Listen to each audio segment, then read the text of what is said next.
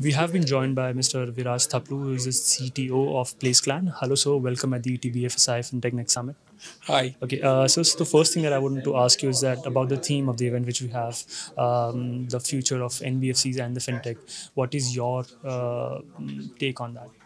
I think the future is bright. Uh, I'll, I'll put it in this way: the technology has leaped to a level where uh, it's financially viable to actually lend and go into the deeper pockets of India and have an inclusive growth, which was not possible maybe a few years back. The internet penetration was not there, and the scale which we wanted was not there. So it is it's good from the tech perspective. It's being enabled, and the catalyst is tech, cloud, and other technologies like acting as catalyst to actually scale it further. So I, I believe uh, the trend is good, the inclusiveness is good, the penetration is very high, and I believe the future is very bright, and we're on the right road. What exactly is BlazeClan?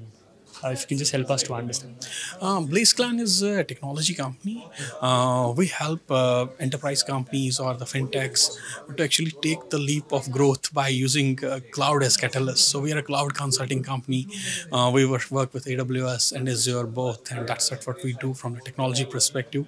We help in data journeys, technology journeys for the companies to embrace the technology faster.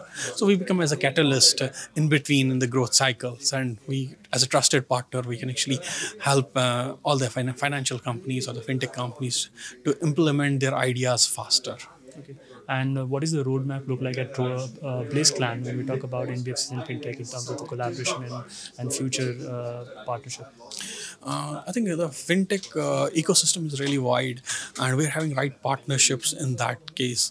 Uh, we're helping large enterprises at one end, and at the other end, we're ha- helping the new age technology companies. So this is this is really interesting for us.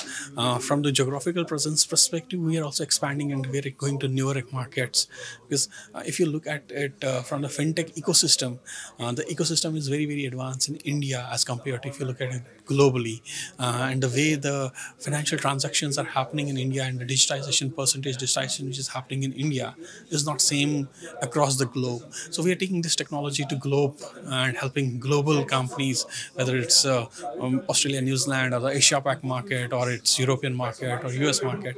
We're actually helping it take that learnings to the globe and actually build that ecosystem there as well.